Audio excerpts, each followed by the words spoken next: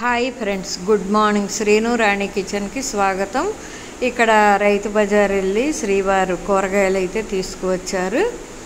ఇంకా బెండకాయ సొరకాయ ఆకుకూరలు. ఈరోజు వచ్చేసి ఆకుకూర పప్పు చేయమన్నారు.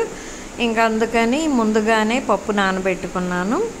ఇంకా ఆకుకూర పప్పు అనేది చేద్దామని రెండు రకాల ఆకులు అయితే వేస్తాను. ఎప్పుడు ఆకుకూరలు తీసుకొచ్చినా ఎక్కువ మెంతికూర తీస్తే అదే ఫస్ట్ కానిచ్చేస్తాను. ఇదిగోండి పప్పు నానింది కదా. నేను అందులోకి టొమాటో ఉల్లిపాయ పచ్చిమిర్చి కరివేపాకు అయితే వేశాను. ఇంకా ఆకుకూర కూడా శుభ్రం చేసి ఉంచుకున్నాను కాబట్టి ఇంకా అది కూడా వేసేస్తున్నాను. ఇంకా త్రీ విజిల్స్ అయితే వచ్చిన తర్వాత ఉప్పు కారం పసుపు చింతపండు గుజ్జు రెడీగా ఉంటే అది వేస్తాను. లేకపోతే చింతపండు డైరెక్ట్ వేసేస్తాను. కొంచెం మనకి ఉప్పు కారం పసుపు అవి ఉడికేలోపు ఆ చింతపండు కూడా ఉడికిపోతుందని. ఇదిగోండి చింతపండు అయితే వేసాను. గుజ్జు అయితే రెడీ చేసుకోవాలి. ఇక్కడ పసుపు ఉప్పు కారం కూడా యాడ్ చేసేస్తాను. ఫస్ట్ టైం మన ఛానల్ చూస్తున్నట్లయితే శ్రీను రాణి కిచెన్ సబ్స్క్రైబ్ చేసుకోండి లైక్ చేయండి షేర్ చేయండి.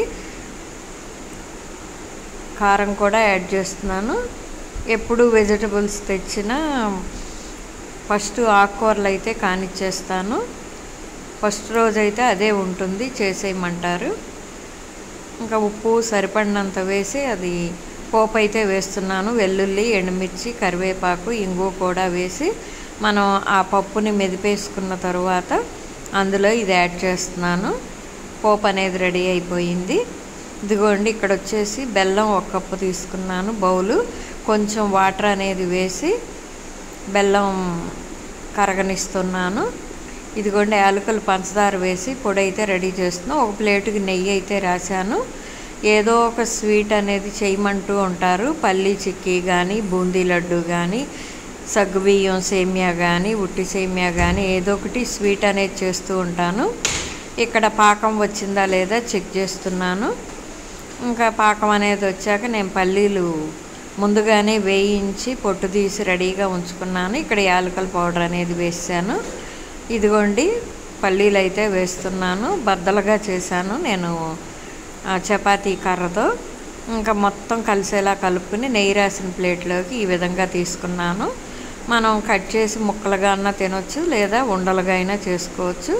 ఇంక ఇదైతే రెడీ అయిపోయింది కదా. ఇది ఆరిన తర్వాత ఈ విధంగా మనం కొంచెం గోరువెచ్చగా ఉండగానే ముక్కలుగా కట్ చేయొచ్చు లేకపోతే ఉండలుగా అన్నా చేసుకోవచ్చు. ఇంకా ఇక్కడ వచ్చేసి పటికి బెల్లం దంచి పౌడర్గా వేసి ఉంచుకున్నాను పంచదార అయితే వాడమని. ఇక్కడ మా పాప వచ్చేసి మా శ్రీవారు పాపకి వచ్చేసి రియల్ గోవా జ్యూస్ అనేది ఇద్దరు గ్లాసుల్లో వేసుకుంటున్నారు. నేనైతే అప్పుడే తాగను అన్నానని వాళ్ళిద్దరి వరకు ఈ విధంగా గ్లాసెస్లో పోస్తుంది. ఎండలు అంతే ఉన్నాయి వీళ్ళ దాహము అంతే ఉంది. తీ తీయగా తాగేశారు చల్లగా.